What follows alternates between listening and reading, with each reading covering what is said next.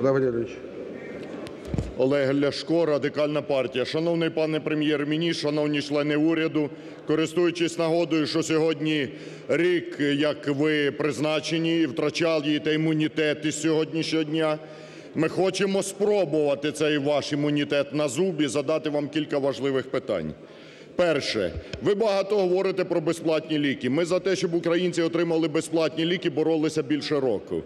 Дякуємо, що ви підтримали цю нашу ініціативу Радикальної партії, запровадили цю програму.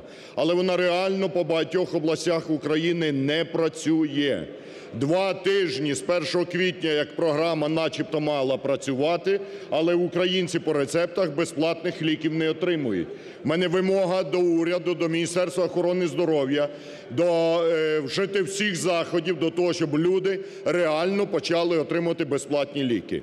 Ми вважаємо, що на безплатних ліках не можна зупинятися і треба йти далі.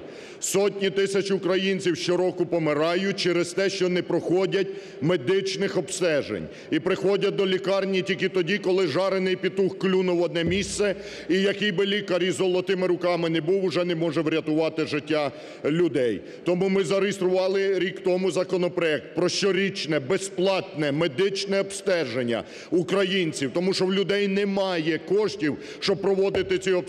Давайте зробимо ці обстеження медичні за рахунок державного бюджету, щоб на ранній стадії виявляти хвороби, ліквідовувати їх і таким чином рятувати життя українців. Третє.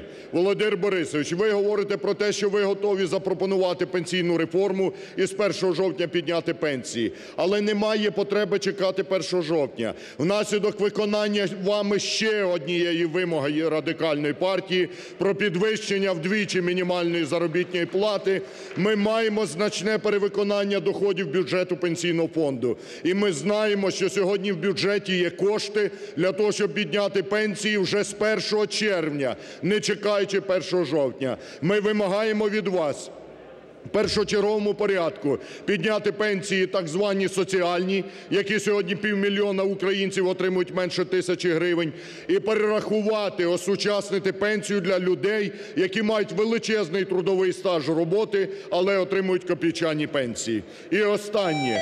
Минулого тижня ми були у вас на уряді з вимогою повернути до державного управління державні газорозподільчі мережі, якими сьогодні продовжують безплатно користуватися олігархи Фірташ, Льовочкін, Бойко при підтримці влади. Пройшов тиждень, ми не бачимо дій уряду. Тому ми підготували проект постанови уряду про повернення до державного управління державних газорозподільчих мереж. Я вам передам зараз цей проект рішення. Ми наполягаємо на його прийнятті. Досить грабувати українців.